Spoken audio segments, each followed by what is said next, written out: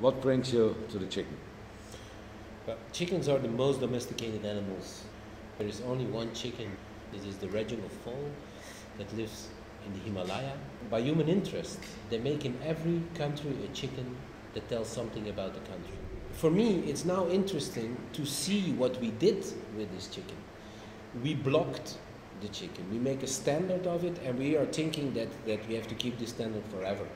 And that is against domestication. We have to break the frame that we make around the chicken, so we have to set it free. And that's why I start my cosmopolitan chicken crossbreeding program. So I select in every country a chicken and I start to crossbreed them. By doing this, you tell everything about our society. But do you have any right to put a chicken in a museum? Do we have the right to make a museum? Is the museum not a place that we should break open and to go to the world?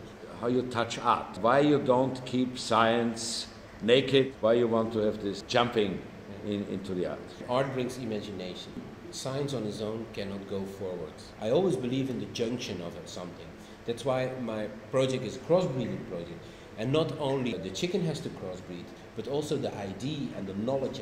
It's called Nato a Venezia, mm. so this is a kind of beginning. It's mm. a start. Where where does it go? Where does it end? When we take uh, the show at the Art Biennale in, in Venice, Nato Venezia. For the first time, we go really beyond the chicken. We will start the discussion as the Open University of Diversity. We will really show the world that there is beyond the chicken a lot of ideas, that we have an open study where everybody who has the interest can, can take part of it. And from there on, it goes to different places in the world.